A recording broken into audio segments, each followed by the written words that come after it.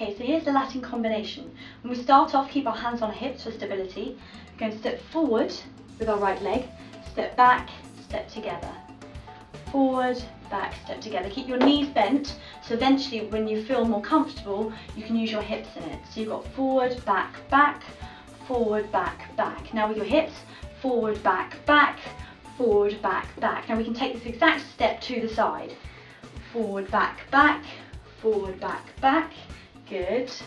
Now use your hips and hip, hip, hip. Good. Hip, hip, hip.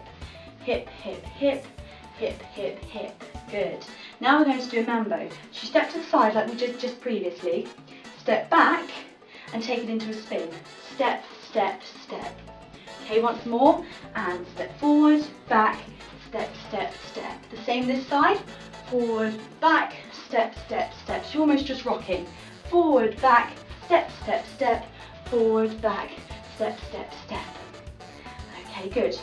Now, this is more of a tango move. You're going to slide down. So each time you bring your leg up, you're going to slide down into it.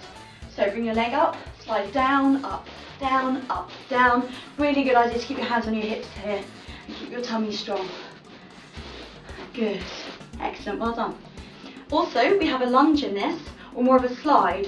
So slide down, okay? But make sure you're lunging on your left leg. Lunge down. Okay? Once more, and lunge.